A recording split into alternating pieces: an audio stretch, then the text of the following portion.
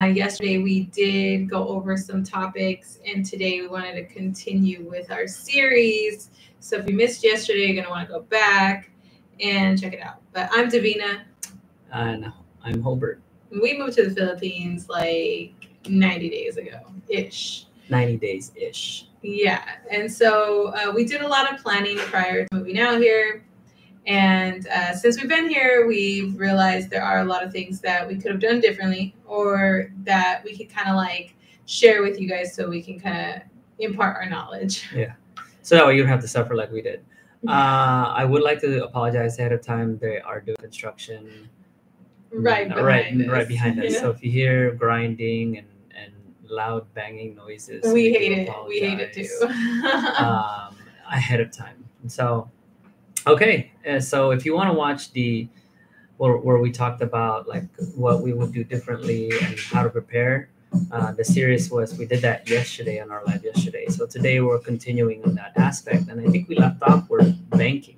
yeah, we were talking about banking yesterday. So I was talking about uh, Philippine National Bank, um, but if you want to like on, on how useful it has been for large transactions for us, um, but I think you wanted to add Charles Schwab into that mix. So I am a big like I love Charles Schwab and like Charles Schwab could do no wrong, but here BDO and Charles Schwab do not communicate. So any like BDO is the biggest bank in the Philippines and you're to see BDO for a lot of things like an ATM if you go try to use your your Charles Schwab at an ATM for BDO it's just not going to work.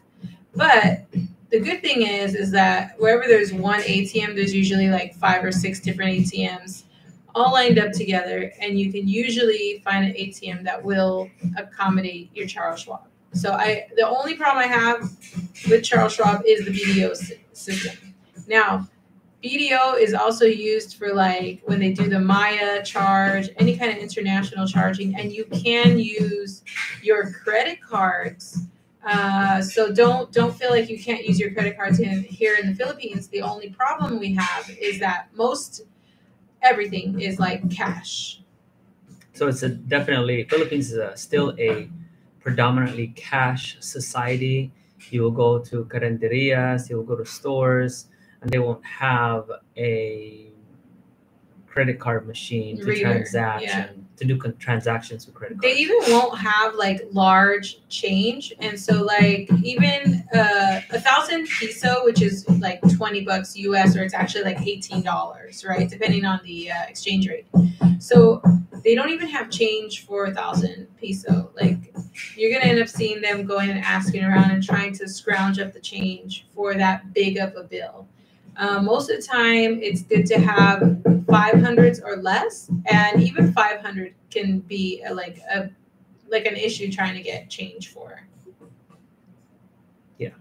There are some bills out here that are uh, kind of like um, not seen very often. It's the 200 peso bill. It's a green bill that is kind of like it's kind of it's kind of like one of those things like you saw Pikachu or something. You're like, oh, hey, what was that? so, anyways. All right. So uh, since uh, you're a Charles Schwab, uh, what do you like about Charles Schwab? And I think, and I think talking about that will let the viewers know why you think it's important. Well, Charles Schwab is it's like all online. There's no actual like tellers or anything like that, so you have to like send your money electronically to Charles Schwab and they don't have any because there's no tellers and you know, you can get all your transaction uh, fees. There's no transaction fee, everything is covered that way. But also like if you do an ATM withdrawal or something, what they do is uh, they give you back your money. So whatever the bank out here is charging you 18 peso for you know getting money out. Um, It's 250. yeah, so it might be like 250 and it might be like 18 peso like that your bank does or that you know um, here Charles Schwab will give you back the money that that you use for a fee. And so at the end of the month, you get like a nice chunk of change. Like um, I usually get like forty-five dollars uh, returned on my account. Yeah. So I like that. So it's not bad. Charles Schwab is actually good. What else? I mean, they also have it's like a brokerage account. So if you wanted to, you could save money that way. You know, buy stocks and um, you know do some some kind of equities and whatnot. And so it's it's it's cool because you kind of like dabble in that as well. So What else? What else do you like about it? uh, Before I talk about my favorite. okay, talk about your favorite. Okay, so she's missing a lot. Um, so not only do they do refunds, right? Uh, a lot of times when you do traveling, right, there's foreign transaction fee, and Charles Schwab does not have any foreign transaction fee at all. I thought I said that. Oh, you did? Yeah. Uh, must have been yawning. Uh, sorry. So no foreign transaction fee, and then something else too. Yeah. So the refund, no, no foreign transaction fee, and it's taken everywhere except BDO for whatever reason. I think BDO just doesn't like Charles Schwab, but um, Land Bank, right? Um, China Bank. China Bank, RCBC, all the other banks take it. Hey, I will give you guys like a little tip though. Um, you might use a a ATM here, and the next day you might get a um, a text message that your account has been um, compromised, but it's actually a phishing scam, and so they probably get the information like your telephone number off your card or something from the like the skimmer or the reader but like we were getting like anytime I use like a new ATM or, or a specific ATM in the area, I I get a, a phishing scam. So don't answer any text messages that you get on your phone about your bank. Those aren't real. Um, I've literally like called my bank, um, talked to them. I don't push on the link that says call this number to rectify this. Like, no, those are all lies. So just just be aware that scams like that are happening out here in Philippines, and we've had them happen to us. Okay. So my turn. My next favorite, uh, the next thing that we use, like probably more than Charles Schwab, I would say, is our Apple Card. So your Apple Card, it, the Apple Card is by Goldman Sachs. It's titanium. She And has it's one. a Mastercard. and it's a Mastercard. She has one, and I have one. Right. So if one of our cards were ever compromised, her Charles Schwab, whatever other credit cards we use, my uh, my Apple Card, uh, it's good to go. So the beautiful thing about the Apple Card is that when they send it to you, the only thing that's on the card that identifies who you are is your name. It doesn't have the expiration date. It doesn't have the Numbers. account number. It doesn't have like the CCV number in the back. It has nothing. So when, and the thing is, it's it's metal. It's it's a piece of metal. So when they you hand it to people, they're like, oh, oh, oh, oh. they so they they look for it and they've never and they've this never seen before. this card before. So when they look for it, they're like, hey, uh, what's the Where's the number? what's where's the number? And so you can either give it to them or they slide the card and then they can figure it out. We force them to slide the, the card so that way they can pull the number off of the system. There's a Um, lot of anonymity with that card Mhm. because um, they they write your numbers down. So like if you have a card that has numbers, they're gonna sit there and they're gonna put it into a, log or a book. Yes. And I can't feel like I, I don't feel comfortable with my number being in some kind of log. And something else too is that when you use your Apple card and they do transactions, how they swipe the card is not gonna the, the number that shows up when they swipe the card is not the same number As your as your account. Like the last few digits of the account number totally is, is is totally different. So Apple, right, protects protects your privacy. Apple protects your account number. Mhm. Apple protects your CVV code unless you want to pull it out of your phone. But unfortunately, you need to have an iPhone You do have to have an iPhone. in order for you to apply for this which will mean that you also need to like keep keep some things like like our iPhones. We keep our um our T-Mobile. We have T-Mobile. We have the Magnum. What is it like the Magenta plan? And we we do keep our American line, phone line, Uh, which is good because that you need it for um, two-factor authentication. right? And then um, even if you decided to change your two factor to like email or something, for us having that that U.S. line is actually very convenient, and um, it's for us. It's worth like paying the extra bill to have. Mhm, It is, and um, not just that too, but our kids have Apple Watches um, that they carry with them, and I can always track where they're at. So if they have, if my kids ever leave the school, I'm like, mm, that's fishy. I, I know exactly where they're at. Yeah. Um, not just that too, but yeah, there's they there's also the the Apple AirTags. But let's Mhm. not get into that, okay? Because we're we're definitely in the Apple ecosystem. Yeah. Um, some people might not like it, but I'll tell you, it's pretty. It's got a lot of It's got a benefits, lot of benefits as far as security and, And privacy. tap tap doesn't always work here. They want the hard card. Yeah, but when they it does work, everybody's like, "Oh, you're using tap through your phone." Yeah, they're really or through your watch. Oh, your oh my god, you're having a conversation with your watch. Like I've I've been stopped and asked about like how do how am I talking to my family member through my watch? Like Yeah. yeah, so the technology isn't here yet. Um, and and it, or at least it's not in the province, right? So Apple Card, uh, please, you know, get a get an Apple phone. I can guarantee it, right? It is good. No transaction fee. Okay. He said Apple phone, but Uh, Apple, Apple phone, card. yeah, Apple card. that? So no transaction fee, and then you get a, a, a big discount when whenever you buy Apple products with your Apple Card. Um, it is secure, privacy. It doesn't have all the information that's shown. So even if they take a picture of your Apple Card, the only thing that they're taking picture of is your name, nothing else. It says just like your name in the front, the Apple logo, and in the back says Goldman Sachs and Mastercard. So, but for the most part, that is it. Yeah. Um, what did I talk about? Um, I was gonna say if I can talk about American Express. Ah, yeah, go ahead. So American Express is also taken here at most big retailers. So um, we never have an issue like putting things on a card if we're at like a big department store. But if you're not, you're probably gonna have to use cash. Yeah. Like we paid cash for the motorcycle. They weren't gonna let us put it on a credit card. Yeah. So, I just want to let you guys know those are three big things: American Express, right, standalone. If you're gonna get a Visa card, get Charles Schwab, and then you're gonna need um, Apple Card, right? So the Apple Card. So all these things have uh, no foreign transaction fees.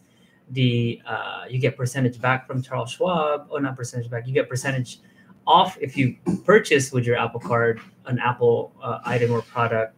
The Charles Schwab, there is no foreign transaction fee and there's no ATM fees. And then the um, Hilton is, you know, is just to have it, just Yeah. like a, as a backup. Yeah, and then the um the prepaid Gcash is basically like a prepaid Credit card. credit card. You know, you put money, you put load, you load the money onto the card, and then you can use it to. It's like a, a credit card, but it's not. And so, if you are struggling, like, and all you and you want to put money onto um, a credit card or to Gcash so you can pay your bills, because Gcash is pretty much accepted everywhere. So, I mean, there's times when we've gone to buy things and we can't buy them because they don't take international. And and then we're like, okay, well, then we don't need it. we'll walk away. Um, and I mean, that's a good way to help us not spend money. But yeah, sometimes they don't take international cards altogether. Yeah, sometimes they don't, and it's okay. That's fine. You just go to the ATM, pull the money, uh, the amount of money that you need. If you really wanted it. And If sometimes really they'll be like, wanted uh, It's not even that worth it. I'm not Yeah. gonna What Yeah, did you? How, what have you walked away from? a drone. We were like trying to Oh, get a right, drone, right. um, a drone like The the, handling. Uh, I don't know. the remote with the Yeah. screen. And so they didn't take international, so we walked away. They walked there, they're like, "Oh, we only take this." We're like, "Oh, okay, all right, sounds good." And then we're walking away. They're like, "Uh, but you can use cat." I was like, "Sorry, man, you, you don't take my card." It's like I'm trying to give you money and you don't want to take it. Not my problem. You know, it's all right. I'll find somebody And we don't really need it, you know. Yeah, we ended up not needing it. We still don't have that drone thing. No. Um, okay, so we talked about banking for the most part. and We talked about the type of credit cards you should use. Okay, some people, right, might think that do you need cash to travel with when you go to Philippines?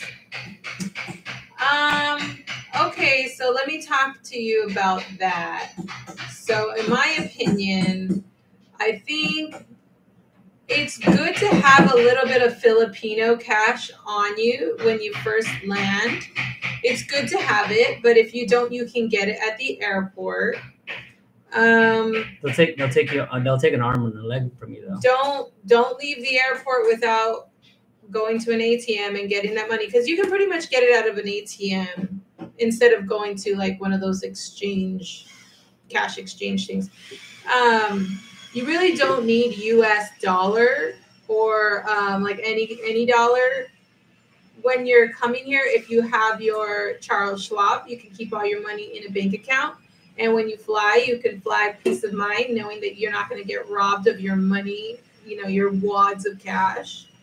Um, and the reason I say that is, uh, well, look, if you're planning on buying a motorcycle in that first week, sure, bring a thousand uh, dollars and, and change it out, sure. But if you can like just go to the ATM and pull the money you need and just keep pulling it for a couple days to, because you're gonna reach your maximum. Um, and so eh, do something like that because it's not worth it to walk like to travel with large sums of money.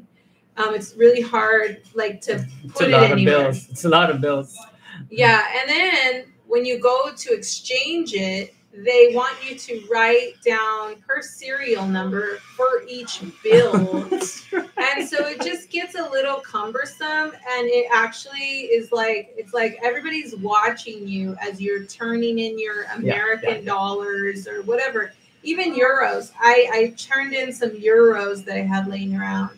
Um, and and it and they want a lot of information. I mean, when you're going to exchange money, they want your passport, they want to know where you're staying, they want your phone number. It's just like way too much data.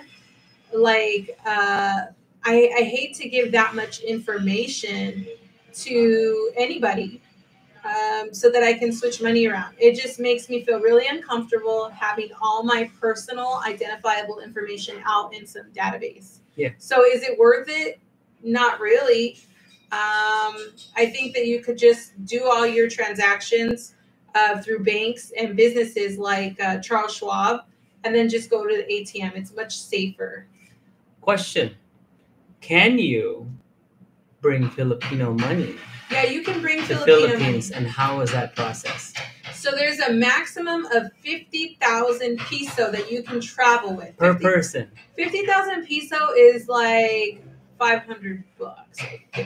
No, no, No, it's a thousand. it's a thousand. It said It's nine hundred It's like less than a thousand. It's like eight hundred Yeah, it's nine hundred hundred dollars. bucks. Nine hundred dollars. So the most you can travel into the Philippines and even exiting the Philippines, if you were going to take out more than 50 peso, you could be stopped by customs. You need to um, get that approved through customs.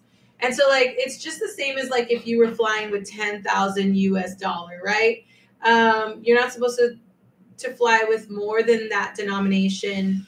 Um, globally. Yeah, And so if so- you do and you get caught with it, they can confiscate it. Yeah, and then you're you're asked out. So, uh, we did we did that. We We did we travel did travel with, with Philippine Filipino piso. with with piso. How we did it is we went to Wells Fargo, and because we bank with Wells Fargo, you can go on the app. In their application, you can go um, like order uh, foreign foreign money, and you can order it. comes right to your your doorstep as long as it's under a certain amount of money. And since eight hundred dollars is is not a lot in U.S. Um, as long as you don't go over like two thousand U.S. dollars, then you can get it at home um, by the mailman. So Yeah. that's that's kind of what we did. So yeah, we carried we we got here with um, Philippine piso, and so the first few weeks that's what we used until we learned where the ATMs were, where we learned where our bank was, and so once we knew all of that stuff, it was pointless to have all that cash. So now, you know, I mean, but did we use it? Was it was it useful to bring peso out here? Yeah, One hundred percent. it was. 100% because it allowed us to conduct transactions and it right? also large us- transactions in a short period that we were here. But three it- days. But it also helped us like become familiar with the bills because like I've been scammed in China by like with my change where they gave me bills that were no longer in circulation. And so when we so it's like nice to like be able to see the bill understand it touch it um, and then kind of like figure out how like how much it's worth you know um, in usd so yeah that's that's a good i don't know. I think it's good to be able to see the money. Yeah. So be familiar with it, because I'm like, whoa, the hundred and the thousand look the same, color wise, similar. similar. oh yeah similar. one's purple and one's blue Yeah, I'm like, whoa, whoa. So you like you pull it out, like you pull out a wad, you're like, oh, okay, that's it. You might be giving a thousand away instead of a hundred. So just be, co- be be cognizant of that. And so, um, what did we use? I So think we- the 50s and the 20s look really close. that's true. Yeah, it's like Yeah. um it's like orange and red. Yes. And so, so what do we use, right? The first three days uh, we were here, we bought a motorcycle and we used the funds that we pulled, that we brought, peso that we brought from the United States to purchase that motorcycle. Because honestly, it's going to take you some time. If you don't have a ride, how are you going to know where the ATMs are? Mm. how are you gonna know? and, what yeah, how are you going to know where anything is? And so we kind of like begged, borrowed, pleaded, we uh, did? we did, we did, and so you know, shout out to family members, Yeah. right? Um, Manang Lerma, For hooking um, it for up. hooking it up. I was, we would be like, hey, Manang, can we borrow? Can we Your borrow? car. Can we borrow your car? and so they did. They allowed us to kind of borrow their vehicles. That's how we got around. That's how we were able to go to dealerships and purchase our own vehicle. Now we're, we're good. Now we are like a 100%. But initially, what did we use? We got a ride uh, in a tricycle yeah. right? And uh, we went to Toyo, got the motorcycle, and then that's Yeah. what we rode around I would in into the motorcycle like far away, two Mhm. 15 Yeah, minute yeah, rides, and that's actually really hard on your body. And then it's rainy. that the thing is too is like without the the license plate on your on the motorcycle, I was I didn't want to go anywhere. So I'm like, I don't want to get pulled over. I don't want my, my only mode of transportation to be impounded, you know? Yeah, and they I'm like, no. they say, "Oh, you can't drive your motorcycle until it's registered," and you're like, "What? But I just bought it. Like, how can I not drive it?" Yeah. So now we have the registration paperwork. Now we have a picture an email that says it's registered through the land transportation office. So that's great. But just know it is uh, good for you to have around cash. Just make sure it's not per person, no more than 50,000 peso. I think you should share the 50,000 peso or at least, yeah, we don't need that much. much. I mean, because uh, one, I think the lowest, the, the, the lowest or highest the lowest highest cap is RCBC, which is 10,000 Mhm. peso. And in China Bank, you can pull 20,000 in one transaction. So that's a Yeah. lot of money. That's a lot of money. Yeah, in the twenty Philippines. You're running around with four hundred bucks in your hand, and it's actually It's- considered a lot of. like- that's a, that's a monthly wage for a teacher. So Yeah. that's It's a lot of money. It's a wad. It's, a, it's Mm. water cash. and it so. is a water cash. so you're lucky if the ATM that you go to has 1,000s like, and it's new bills. and it's new bills. But if it's like 500s, yeah. you're walking around. When you pull 20 grand out, you're walking around with a lot of cash. The ATMs only spit out five hundred and, and a one thousand. thousands. Yes, yeah, five hundreds and one thousands. So, it. Um, I don't know. Uh, were there the disadvantages of having cash with you at the airport? Is the worry that's like, uh, Lots of anxiety. Am I that you're gonna gonna, get get, robbed. robbed? You've heard Right, all the stories, yeah. you know. You've seen the videos where they're looking through your bags and they're putting money in their pocket. Like we did do a lot of research on all the bad things that could happen. Did any of that stuff happen to us? no. Are we saying that it can't happen to you? It could happen. It could happen, definitely. But we were extra cautious when we were dealing. Uh, we're going to the airport. What is that? So here's a twenty dollar, like a twenty peso, right? These are the ones that are most worn out. When you get them, like they're super worn out. They feel like they're gonna fall apart. This is a fifty. And the interesting thing is, is that twenties they also come in coin, so you can get. You could be having like a coin that looks like this and this is a 20 has like a gold perimeter Okay, so these two are the same. Then you have a 50. There's no coins for 50.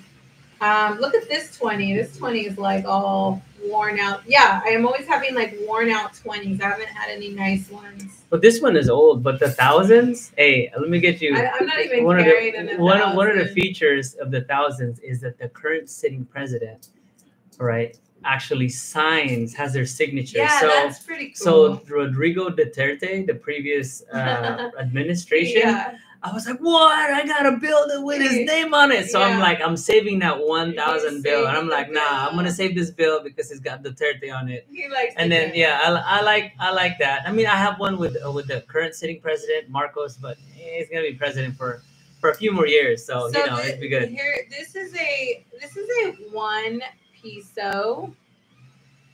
Right, It has like one.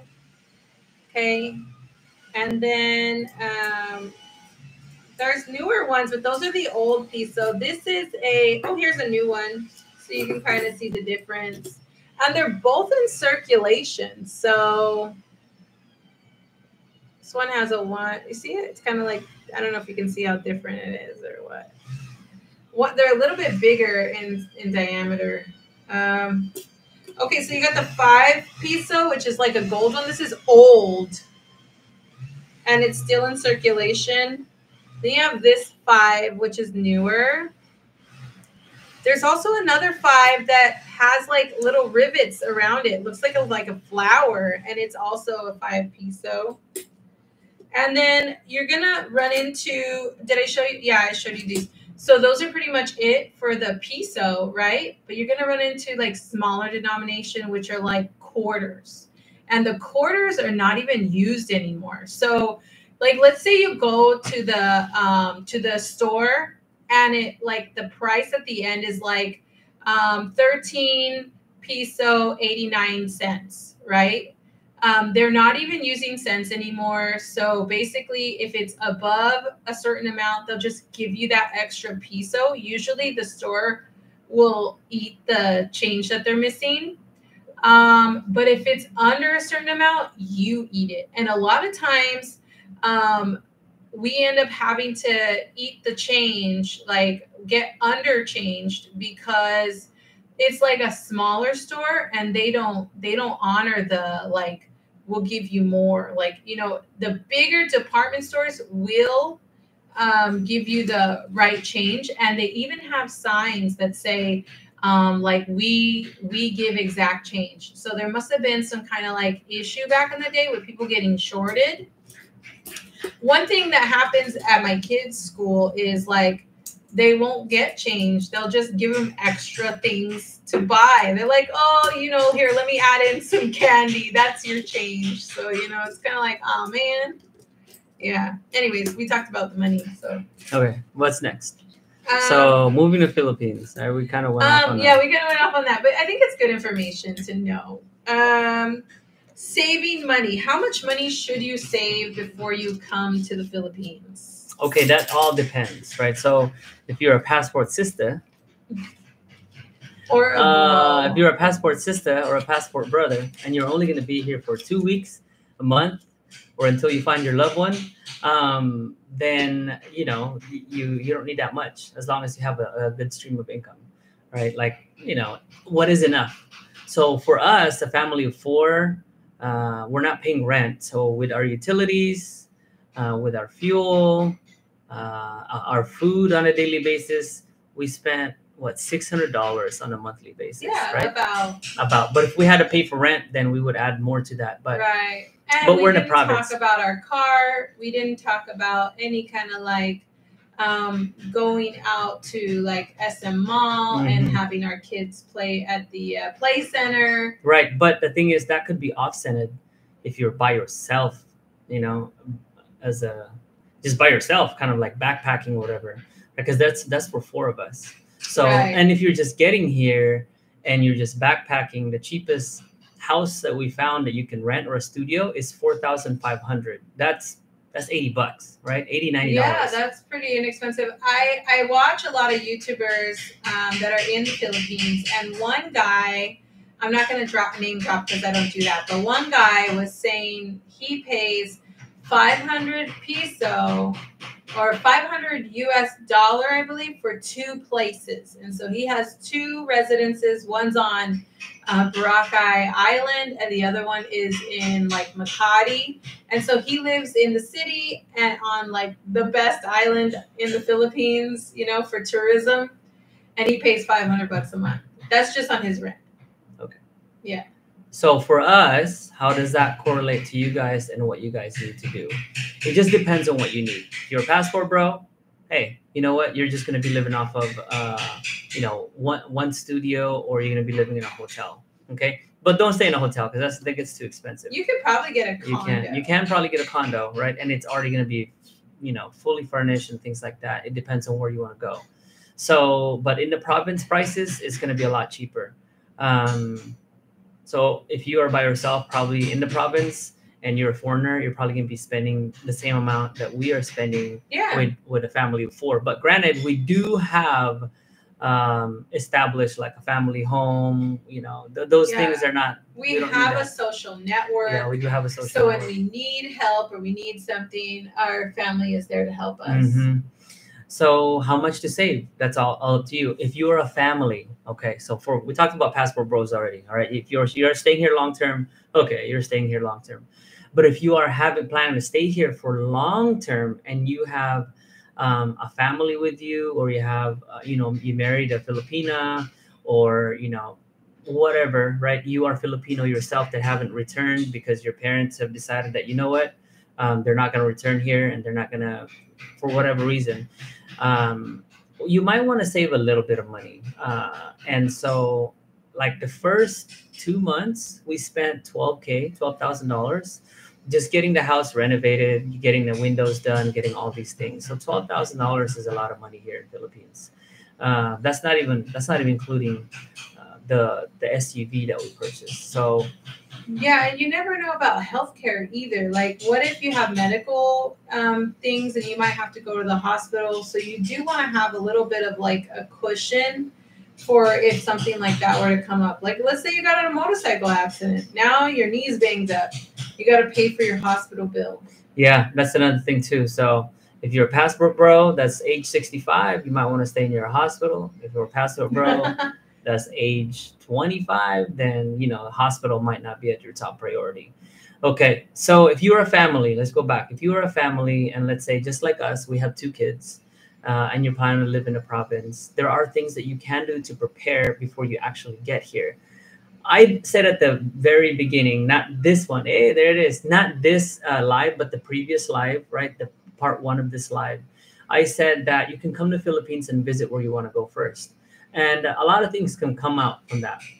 When you come to vis- uh, visit Philippines and you, um, you know, know where you want to go, then buy some land there, or have your Filipino spouse purchase the land there, or if you're if you are Filipino and you have family in Philippines, have them buy that per- that land, right? And then what you need to do is kind of like see or talk to an engineer, like a civil engineer, and see if they can draw up applic- uh, like some some sketches for your house that when you get here, right? And then it's gonna take them about you know six months to a year to build that property. So if your timeline is between you know a year to two years, I would encourage you to do that Start building. start building the property while you're still in the states now things that are prioritized to you um, things that you want to prioritize is up to you if you have kids and you want to send your kids to a private school well make sure you visit the private school. If you have kids and you want to send to public school make sure that the how the property that you want to build is going to be near a public school. So it's all if you want to live in a city you know that's not going to be an issue because you're going to be living in a condo. But if you want to if you have the money right and you can swing it purchase a house how much does it cost? California dude houses are like between 750 to 1 million dollars. And that's like a shack okay? Near the water near the beach. It's like a house from the 80s, but yeah. here here all right you can stand a house up for 40k and it's a nice house. Yeah. that is 2 million peso two with 2 million peso you can buy uh, the land for cheap and then build the house on it. It won't be a big, you know, seven uh, seven bedroom house. Mansion. Yeah, but it's gonna be a one to two bedroom, uh, or maybe three bedroom. So as each each time that you save, you know, money and send it to Philippines to build that house, you'll be better off. And um, basically having that set, that house already Before in place before you come here is gonna help you a lot. How has it helped us? I mean, Well, I think that um, if you have your earning power still while you're in the States and you're sending money uh, to build your home, and you need to make sure that it's actually getting built, you need to have like, um, you need to have some kind of like manager or foreman or family member or somebody to continue to push the project here on this side because it could easily become that you're building somebody else's house and when you get to Philippines it's not even your home that's yeah. built. So don't get frauded. Don't be a Yeah. don't be a passport bro through the internet and all of a sudden some some someone over here promises you the house is being built. Oh, it's so nice. Go Thank you so much. yourself. And then you get here and somebody else is living in it.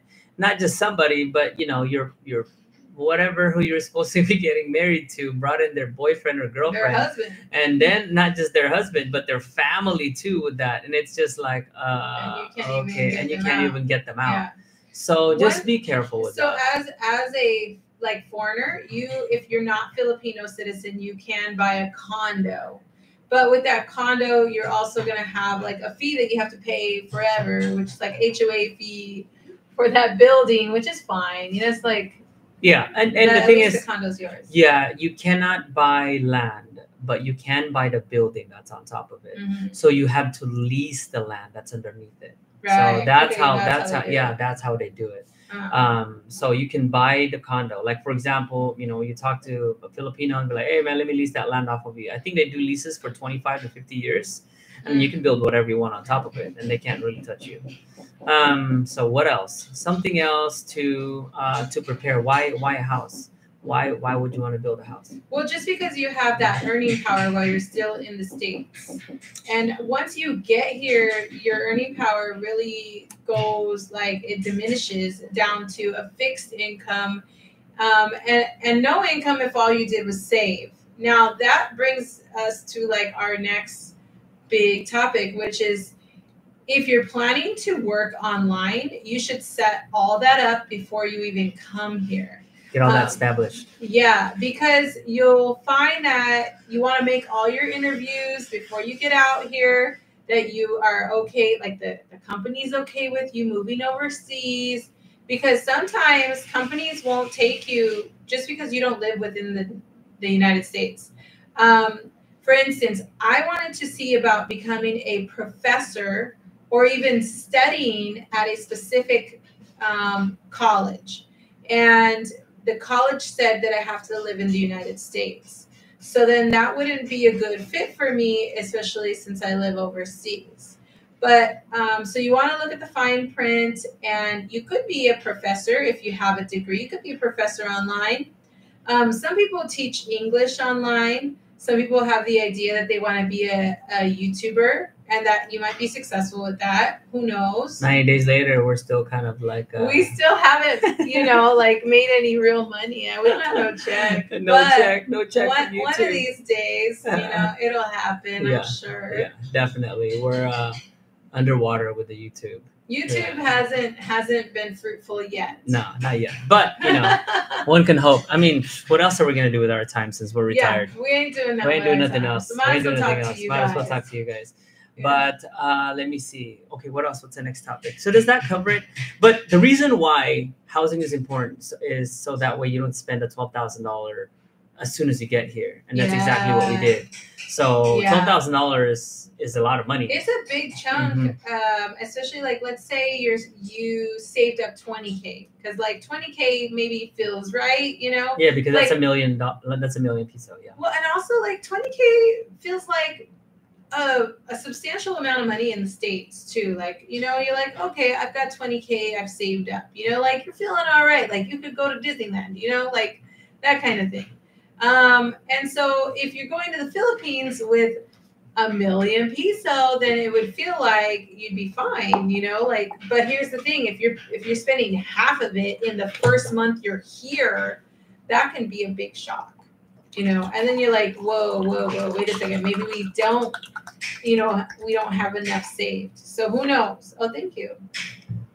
So, yeah, save some money and then have a, a stream of income coming here, whether it's your pension, hey, Mhm. right? Uh, You need to have some kind of income. It could be your social security, um, yours. Uh, I don't know what what because we're not we don't have social security yet, but one day, one day. one day, one day. But we do have our military um, stuff, so that's cool. And then um, you know other ways of because we're we're educated, so we can do stuff. Ed- You're Online. educated. I'm educated. I can do things online. Ah, okay. All right. Cool. All right. What else? Um, what else is there? What else is there? Um, I was going to talk about buying your tickets a year Oh, out. dude, that was one of probably one of the smartest thing, right? So we were looking it up on the internet today, and if you buy, we bought our tickets one year out, and it cost us five hundred dollars Each each, person. person. So five hundred for her, five hundred. That's very It's two grand. So we just looked it up right now, and if you bought it a year out, just like we did, it is around two thousand dollars one Yeah. way trip for four people. for four people. One way trip for four people, and that has eight bags. Okay, yeah, yeah, eight bags. underneath underneath the plane. Okay, but uh, the cheapest one is is one thousand nine hundred and some change, nine hundred ninety something, and that's with China Air. Well, Philippine uh, Airlines we is like two thousand five hundred. Yeah, Philippine National Airline. We did a, a straight flight. And um, when you're buying your ticket, this is really important. Okay, I got to give you some advice. All right, take my advice. She doesn't use it. I'm yeah. giving it out. No, no. get get here either in the evening or early morning. So you want to get here when the sun is down because it's still effing hot. Okay, doesn't matter if you get here at 4 a.m. By the time you're leaving the airport at 6 a.m. and it's already hot. It depends on what ti when of the year. Sure. All year long, Manila, concrete jungle, hot. okay. But what the other thing to think about is traffic. So you're gonna hit that early morning traffic, doesn't matter. So you want to come here when the sun is down. If you were to come here at like 11 p.m. at night and you're landing, um, you're probably gonna get out of the airport around. It takes two hours to get through the airport. It just does, and to get all your bags and then find your your ride. Um, come come here when the sun is down, so it's the coolest part of the day, and also when there's no traffic, like less traffic, because there's still traffic 24 hours, but there's less traffic in the nighttime, and that's my advice. My advice: just get here. Just don't even worry about all that stuff. Nighttime, daytime, just get here. But she has a valid point. She does, and that point is that hey, there it is again. Uh, and that and that point is that when you get here, there's going to be a lot of traffic, especially if you come out of uh, Manila. Now there is another option, which is Clark. Clark International Airport would be a lot better because it's lot less traffic. It's not as traffic's not as congested, and um, but it's just a little bit more pricey. We like going to Manila. Um, initially, our initial plan was that we were going to stay in Manila and kind of enjoy it, go to Mall of Asia and all those things. But we decided that we just, you know what, we'll just come here to the province, um, so that way we can start kind of getting the kids to school. Um, and then that's something else too that you might want to prioritize is like, all right, what do we need for school? That's that's another one. What, what do we need for school? Um, if you're bringing a family and you have school age kids and you want them to go to either the public school or the private school, they will need their last report card. So you do need to get their last printout for their report card. Uh, they really care about that. You also need to have their birth certificates, their passports. Um, you want to get a copies, have copies of that because here to make a copy of any document, it's kind of like it's it's it's actually a grueling process if you don't have your own printer you got to go around trying to find like like the Kinkos, right? But it's actually Xerox. And so you when you go place, you say, "Oh, hey, can I get a copy of this?" And they're like, they look at you like you don't know what you're talking about, or they don't know what you're talking about. You say like, "I need this Xerox," okay? And um, and their their machine is like an inkjet printer uh, from Walmart. Yeah, okay? it's not a laser printer. no, It's not a copy machine, industrialized copy machine. No. In fact, we tried looking for a laser printer and we couldn't find any.